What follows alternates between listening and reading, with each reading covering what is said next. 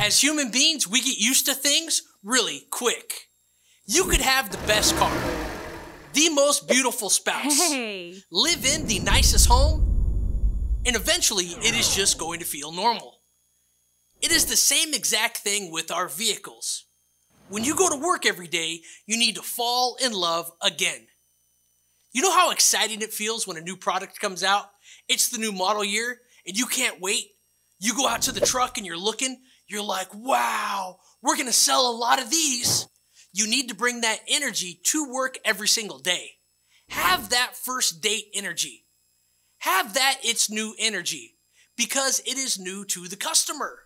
And when you were excited about the product you sell and you were pumped up, the customer is a whole lot more likely to be excited and be pumped up.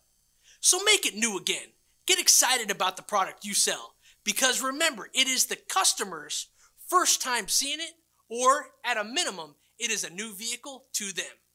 Drop us a comment, press like, hit subscribe for content daily. If there is a video you have been scouring the internet looking for in regards to training, let us know. We'll make sure we get it shot.